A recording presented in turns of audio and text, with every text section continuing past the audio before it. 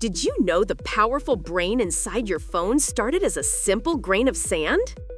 This sand, rich in silicon dioxide, is purified in a furnace at extreme temperatures to create 99.9999% pure electronic grade silicon.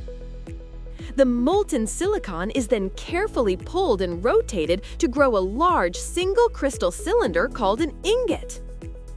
This massive ingot is precisely sliced with a diamond-edged saw into hundreds of ultra-thin, perfectly polished discs known as wafers. In a hyper-clean room, a process called photolithography etches billions of microscopic transistors onto the wafer surface using UV light.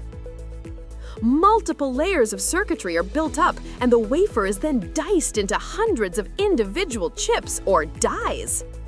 Finally, each tiny die is encapsulated in a protective package with connection pins, becoming the finished microprocessor. From a humble grain of sand to the heart of technology, this tiny marvel now powers our entire digital world.